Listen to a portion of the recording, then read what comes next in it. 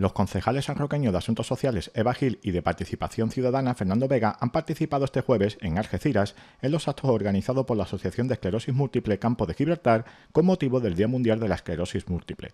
Así, se ha montado una mesa informativa en la Plaza Alta y también se han llevado a cabo una concentración con el objetivo en ambos casos de concienciar a la población sobre este problema sanitario. El Día Mundial de la Esclerosis Múltiple es una jornada internacional de sensibilización destinada a todas las personas afectadas por esta enfermedad.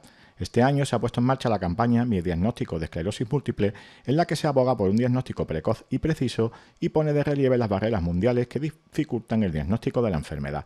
La esclerosis múltiple es una enfermedad autoinmunitaria que afecta al cerebro y médula espinal y se detecta con mayor frecuencia en mujeres que en hombres. Los episodios pueden durar días, semanas o meses. Los síntomas pueden ser musculares como espasmos, entumecimientos, temblores y debilidad, intestinales, oculares, dificultades mentales, en el habla sexuales, siendo la fatiga el síntoma más común.